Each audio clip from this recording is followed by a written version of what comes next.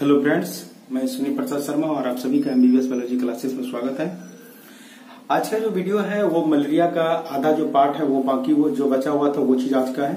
कल आप लोगों को जो अगले वीडियो में जो आप लोगों को पढ़ा चुके थे, उसमें मलेरिया क्या है, फिर उनकी जाति के जो प्रकार वो है, वो बता दिए थे। फिर वो जो मलेरिया में फिर जो है वो कैसे क्या क्या होता है कैसे हम लोगों में बीमारी उत्पन्न होता है वो सारा चीज़ आप लोग कल के वीडियो में बता दिए थे। और आज की वीडियो में क्या है कि इनका जो आम, आम, इनके जो सिम्टम्स है जिनको लक्षण बोलते हैं फिर इनका जो ट्रांसमिशन है मतलब संचरण जो है और फिर इनका जो प्रिवेंशन है मतलब रोकथाम है वो आज के वीडियो में पढ़ना है। ठीक है चलिए। तो सबसे पहले हम बात करेंगे किस तो इनके सिम्टम्स का बात करेंगे इनके लक्षण का बात करेंगे। तो सबसे पहले इनका हम पढ़ा रहे हैं मलेरिया। मलेरिया का आधा वीडियो कल बना चुके हैं।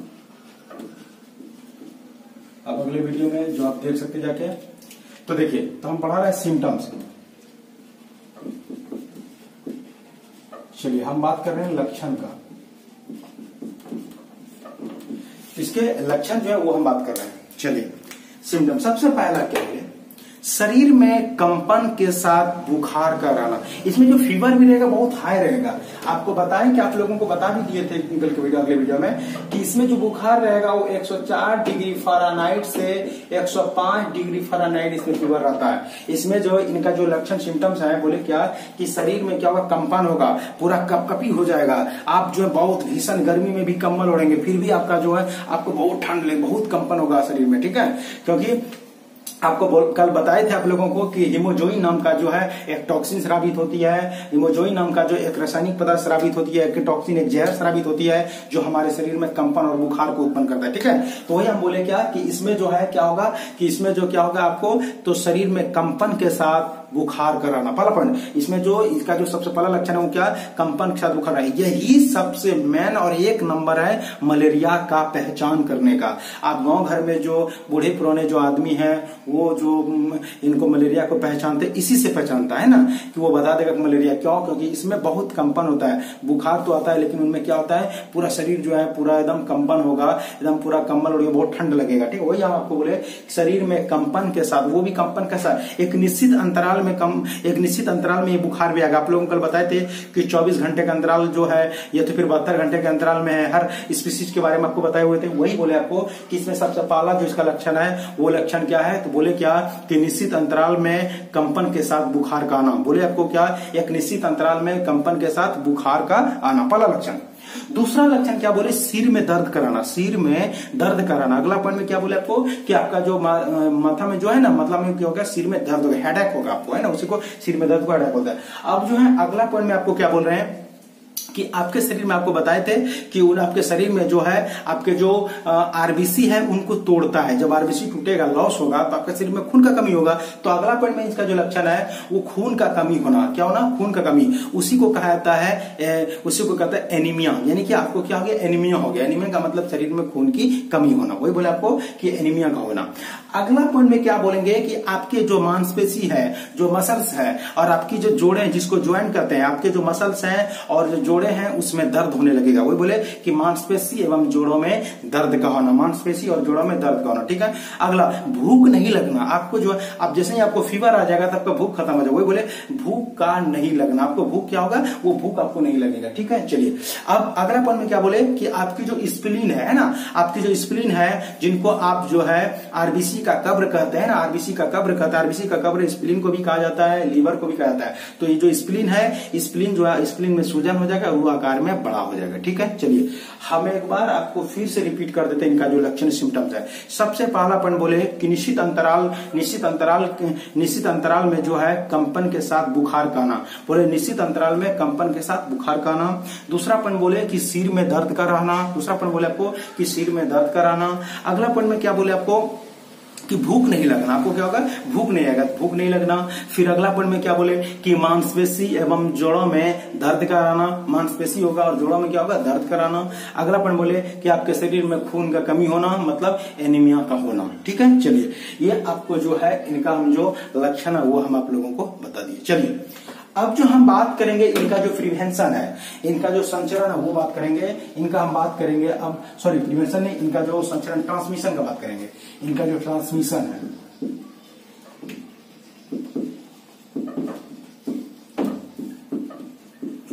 इनका जो संचरण वो हम बात कर रहे हैं। ध्यान दीजिएगा इनका जो संचरण।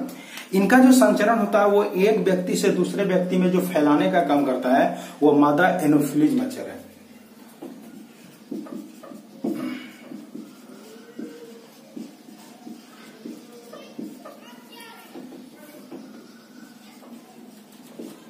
वो है मादा एनोफिलीज वज़न, है ना? उसी को बोलते हैं मादा एनोफिलीज मस्कीटो और बोले कि इनका जो संचरण करता है, इनका जो ट्रांसमिशन जो इनका करता है, एक व्यक्ति से दूसरे व्यक्ति में फैलाने का जो काम करता है, इसमें आपको बता दें, अगर एक व्यक्ति मलेरिया से ग्रसित है और मादा एनोफिलीज मच्छर उस ग्रसित आदमी को काट ले और फिर उसके काटने के बाद फिर आपको काट लेता है तो आपको भी मलेरिया हो जाएगा। ठीक है? तो आपको बता दें वही बोले आपको, इसीलिए इनका लक्ष्य, इनका जो संचरण जो है, वो हम क्या बोले आपको कि मादा एनिफ्लिज मच्छर जो है, मादा एनिफ्लिज मच्छर के मादा एनिफ्लिज मच्छर जो है, इस बीमारी का संचरण करती है। इस बीमारी को कैरियर का काम करता है, इस बीमारी का जो है, ढोने का काम करता है। वही बोले आपको कि इस बीमारी का जो संचरण, ट्रांसमिशन आता है, वो किसके द्वारा होता है? तो मादा एनिफ्लिज मच्छर के ठीक है? चलिए। आपको हम इनका ट्रांसमिशन भी बता दिए। अब जो हम बात इनका करेंगे, इनका हम प्रिवेंशन का बात करेंगे। प्रिवेंशन जिसको आप लोग कहते हैं रोकथाम। चलिए, बहुत इंपॉर्टेंट है और आप लोगों को हमेशा इस बात को बोलते रहते हैं कि आप लोग केवल अपने कॉपी में ना उतारें। आपको जो हम बोल रहे हैं, वो से अपने लाइफ में, अपने जीवन में भी उतारें। आपको बार बार एक बात बोलते हैं कि केवल कॉपी में उतारने से कोई फ़ायदा नहीं होगा। आपको बोल रहे हैं, उसको अपने जीवन में भी अपनाना पड़ेगा। अपने डेली रूटीन में भी उतारना पड़ेगा। और उतारेंगे तभी जो है, आप लोग जो है, इनको समझ पाएँगे और इनका जो है उपयोग ले पाएँगे और इनके उपयोग को समझ पाएँगे। बहुत ज़रूरी है है ना? बहुत ज़रूरी है, क्योंकि बीमार नहीं होना है हमको। क्योंकि ये जो आप लोग पढ़ रहे हैं, क्यों पढ़ रहे हैं? क्योंकि हमको बीमार नहीं होना, हमको पहले ही जो है, इनसे हमको सचेत हो जाना है। पहले ही हम जो है, इनसे क्या करेंगे? दूर रहेंगे। तो सबसे पहला पॉइंट कि इसका जो प्रिवेंशन है, आप लोगों को बता दें कि ये जो बीमारी हो रहा है, वो मच्छर के दौरान, मच्छर के दौरान जो फैलती है, मच्छर मच्छर ही इसका वाहक है। तो सबसे पहला काम क्या करेंगे? मच्छर को ही जो आन जान, आने जाने का जो रास्ता, आने जाने का जो ये है, मच्छर उत्पन्न होने का जो है, वो सबको खत्म करेंगे। सबसे पहला पॉइंट घर के आसपास पानी को जमने से रोकना चाहिए। पहला पॉइंट इनका जो प्रिवेंशन है, सबसे पहला क्या बोले? घर के आसपास पानी को जमने से रोकना चाहिए। पहला पॉइंट क्या बोले? घर के आसपास जो पानी है, उनको क्या करेंगे? जमना, जमने नहीं देंगे, उनको जो और हटा देंगे वहाँ से। उनके बोले कि घर के आसपास पानी को जमने से रोकना है। ठीक है, दूसरा, घर के आसपास साफ़ सफ़ाई रखना बड़े बड़े घास नहीं रखना, गंदगी नहीं रखना, वही बोले घर के आसपास जो है, साफ़ सफ़ाई रखनी है। ठीक है, अगला पॉइंट क्या बोले? बोले, समय समय समय पर डीडीटी का छिड़काव करना चाहिए। समय समय पर जो है डीडीटी का क्या करना छिड़काव। समय समय पर जो है डीडीटी का छिड़काव करना। डीडीटी आप लोगों को पहले भी इसका पूरा नाम बताए थे कि डायक्लोरो डायफिनाइल ट्राइक्लोरोएथेन। आपको बोले थे डीडीटी का पूरा नाम कि डायक्लोरो डायफिनाइल ट्राइक्लोरोएथेन। हम बोले तो आपको डीडीटी का पूरा फिर से बोलते हैं डायक्लोरो डायफिनाइल ट्राइक्लोरोएथेन जो है डीडीटी का छिड़काव करने क्योंकि ये जो है कीटनाशक है, ये ये जो है पेस्टिसाइड का काम करता है ना? कीड़े मकोड़े को मारने का तो मच्छर भी तो कीड़े मकोड़े मारते हैं तो वो भी मर जाएँगे, ठीक है? चलिए तो वही हम आपको बोले कि समय समय पर रेडी का छिड़काव करना चाहिए, ठीक है? अब जो हम आप लोगों को बता रहे हैं, बहुत ही ज़रूरी चीज़ है। हम बात कर रहे हैं कुनैन का। इनका जो हम बोल रहे हैं, आप बोल रहे हैं इनका कुनैन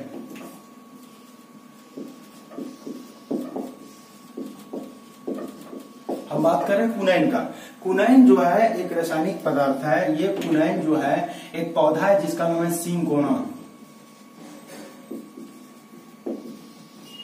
सिंकोना नाम का एक पौधा है। इस पौधे के जो छाल होते हैं, उस छाल में एक रासायनिक पदार्थ होते हैं, जिसका नाम है कुनैन। और ये कुनैन जो है, हम लोगों के शरीर में जो किसी भी अवस्था में हमारे शरीर में किसी भी अवस्था में प्लाज्मोडियम रहता है, प्लाज्मोडियम को नष्ट कर देता है, उनके वृद्धि को रोक देते हैं, और वह प्लाज्मोडियम खत्म हो जाता है, और हम मलेरिया से छुटकारा पा लेते हैं। हम बोले, क्या? कि ये कुनैन एक रासायनिक पदार्थ है। उस कुनैन, वो कुनैन जो है सिंकोना नाम का एक पौधा होता है, जिस तरह से आप लोग श्रृंगार जान रहे हैं, जिस तरह से आप नीम जान रहे हैं, ठीक उसी प्रकार ये पौधा होता है सिंकोना का।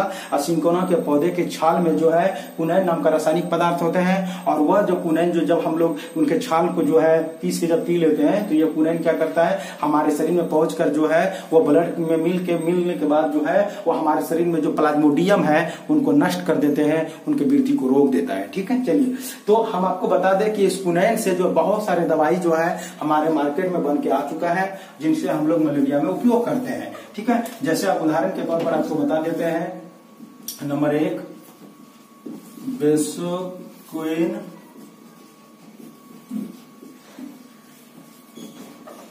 ठीक है? दूसरा, फ्लोरोक्विन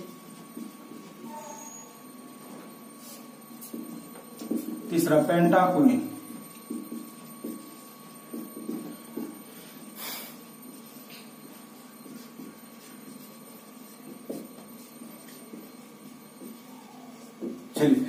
ये जो है आपको बोले पेसोक्विन, क्लोरोक्विन पेंटाक्विन ये दवाई मार्केट मिलता है। और जो मलेरिया से ग्रसित आदमी उनको ये दवाई ले लेनी चाहिए और वो ठीक हो जाएगा, ठीक है? लेकिन आप लोगों को बता दें कि मलेरिया में जो टाइप होता है, उनमें आप लोगों को बताए थे कि इनकी जो स्पीसीज अलग अलग होती है, जिनमें प्लाज्मोडियम फेल्सीफेरम जो स्पीसीज होता है, वो बहुत ही हानिकारक होता है हमारे लिए। उनसे आदमी की मृत्यु भी हो जाती है, वो आपको अगले वीडियो में बता चुके हैं। इसलिए जब भी आप लोगों को कप कपी के साथ बुखार का जब लक्षण दिखाई दे तो जल्द से जल्द डॉक्टर का डॉक्टर से संपर्क करना चाहिए, जल्द से जल्द डॉक्टर से मिलना चाहिए। ठीक है? चलिए तो आप लोगों, हम जो है इनका प्रिवेंशन आप लोगों को, हम बता दिए कौन कौन सी दवाई लेनी है, क्या उपचार करना है, और आपको बता दी ये चीज़ अपने लाइफ में उतारने के लिए कि रात के समय सोते समय मच्छरदानी का उपयोग करना चाहिए, है ना? मतलब जब भी आप सोते हैं तो मच्छरदानी का यूज़ करेंगे, जिससे क्या होगा, आपको मच्छर नहीं काटेगा और मलेरिया होने से बचेंगे, ठीक है? धन्यवाद।